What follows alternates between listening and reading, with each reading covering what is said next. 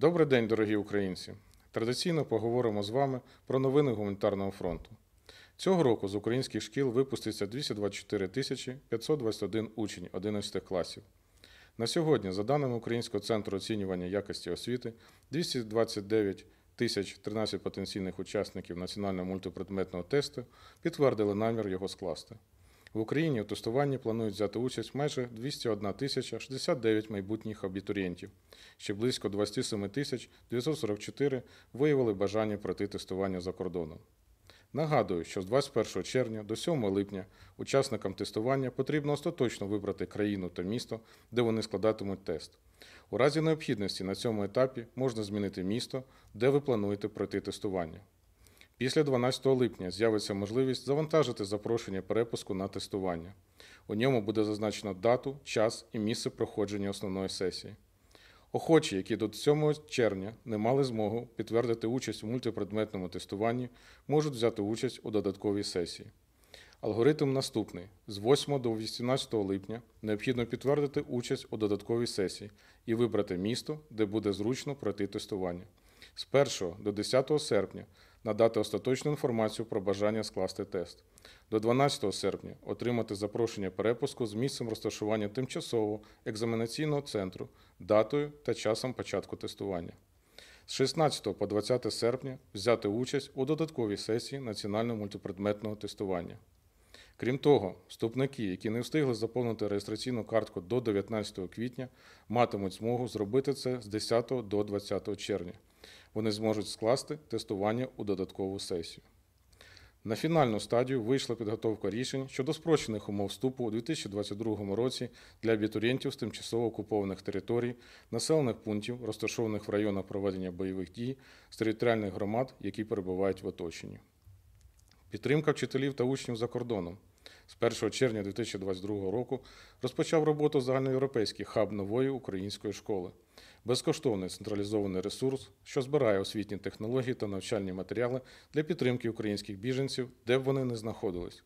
Крім того, хаб містить інформацію про доступ до освіти у конкретній країні. Результатом переговорів з ORCID, міжнародним реєстром вчених стало рішення організації про скасування на наступні три роки сплати членських внесків для українських закладів вищої освіти, які мають бажання стати членами консорціуму ORCID. Створення консорціуму підвищить видимість результатів наукової діяльності українських вчених та сприятиме цифровізації нашої науки. Національна академія аграрних наук вивчає вплив збройної агресії Росії на стан ґрунтів. Робоча група Національної академії аграрних наук та Державної екологічної інспекції України визначить розмір шкоди, завданої природним ресурсам та навколишньому природному середовищу України. Офіс президента за дорученням Андрія Єрмака продовжує працювати над посиленням санкційного тиску на Російську Федерацію та Республіку Білорусь у спортивній сфері.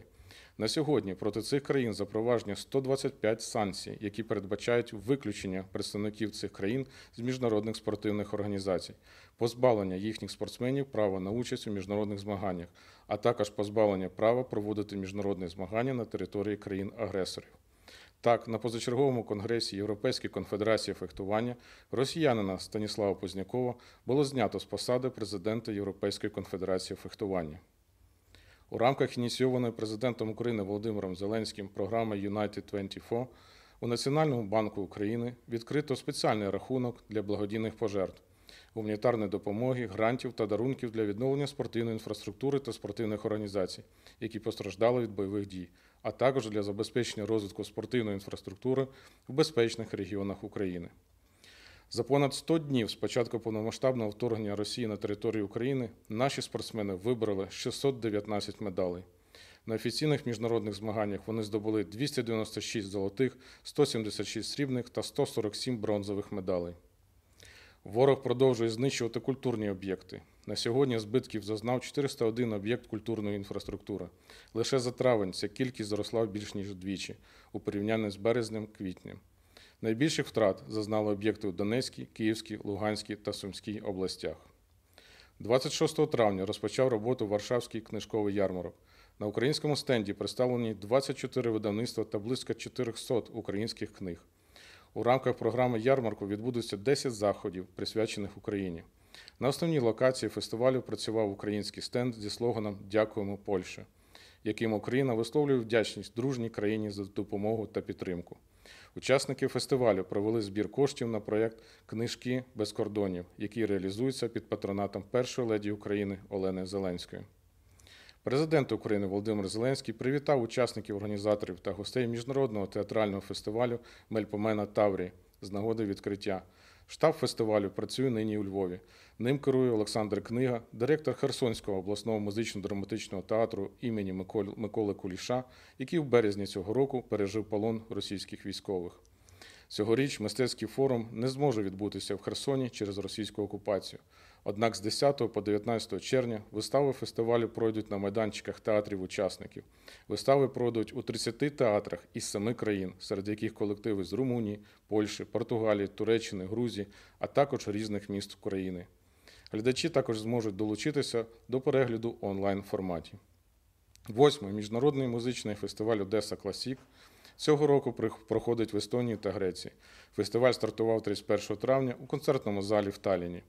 А вже 9 по 13 червня фестиваль переміститься у Салоніки.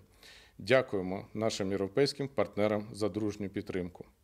Слава Україні!